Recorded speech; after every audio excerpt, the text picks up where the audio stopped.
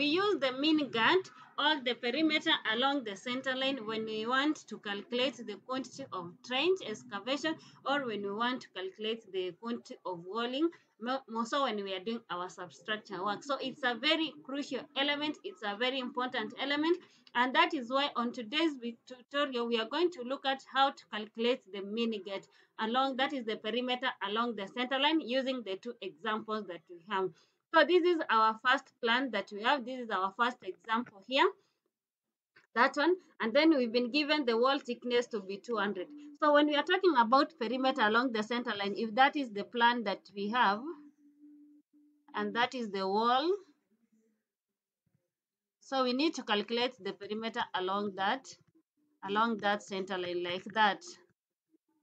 So this is from here up to here is the external dimension. From here up to here is the internal dimension. So this is going to be our, our thickness of the wall. Now what we do with this plan, if you can look at the plan, we have this, this opening here. So we need to get the entire full length from this point up to this point and the entire width from this point up to this point. And then we add these walls that are here. So we take this wall here we put it here. We transfer it here so that we can assume now we have a full length. Now what remains is this wall and this wall. From this point inside up to this point. So that will be 12,000 minus 200 and minus this 200 giving us 11,600 that is the recess walls that we have two of them. Now then the total length before we go there when we're calculating the the mean girth, we can use a the external dimension. We say the external is from here up to here. That is 2 into length plus width, and then we minus the, the thickness. So we have the thickness of the wall is 200. We minus 4 the, the thickness of the wall. Or we can use internal dimension. That is 2 into length plus width minus 4 the thick plus 4 the thickness. So internal is from here up to here, and then we are going we are going this way for us to get to the to the mean girth. So we add the thickness. So we are going outside. Now let's get the total length. That is 9,000 plus 6,500 plus 7,000. And uh-huh, here we add that one. We get we get our total length to be 22,500 and our width is from this point here up to this point that is 12 12,000 and then the wall we've seen is 11 11,600 we multiply by two sides for us to, because there are two walls. Now for us to get the mean girth, it's going to be 2 into 22,500 plus 12,000 minus 4 the thickness. That is 4 times 200. We tabulate that one, we get 68, 200.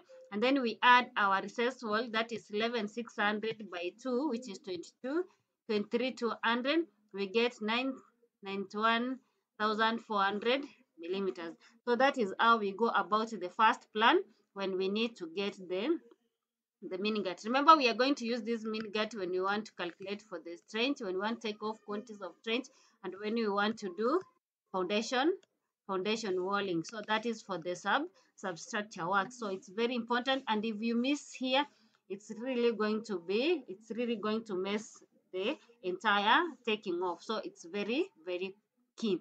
Now let's proceed to the second example. But before we proceed to the second example, if you are new here, kindly subscribe, share, share, and don't forget to leave a comment. It's very important and it's been it's so helpful. It's so helpful for this channel.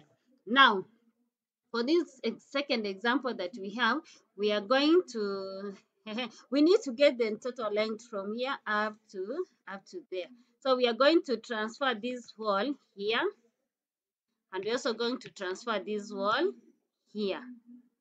We assume now we have a full length and a full width. Same to this point. We are going to transfer this wall here and we're also going to transfer this wall here. So we assume we also have a full length and a full width. Now, what remains is this wall here is is the only wall that has not been catered for so it's like you hold here and unfold assuming it's a piece of paper you hold here and fold. So this one comes here this one comes here. Same thing with this one. You hold here you unfold. This one comes here and this one comes here. Now what remains is this wall. This wall is the dimension for that wall is what? Is from here from here up to here. That is 54 5400 so let's get the total length. That is 2 2 that 200 plus 200 plus 4800 plus 150 plus 54 500 plus 200 we tabulate that one it gives us 13800 our width is 200 plus 5400 plus 200 plus 4000 plus 200 and we also if we also tabulate that one it gives us 10000 now let's get the mean girth we are using the formula 2 into length plus width minus 4 the thickness. The thickness of the wall is here it's 200 it's shown here it's 200 it's 200 there it's 200 so we are going to to use that 200 so if we take that one 2 into 13800 plus 10000 minus 4 the thickness if we calculate that one we get 46 800 and then we add our recess wall. This one was our recess wall that is 54 5400 we add that one to the mean girth that is if you add that one we get 52 200 millimeters. That is that is the mean girth so guys that is how we go about the mean girth we also did a video long time ago about the mean girth that was was having a circular part. Since it's so essential it's so important.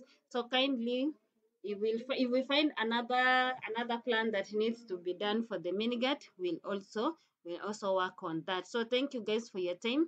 Until next time bye bye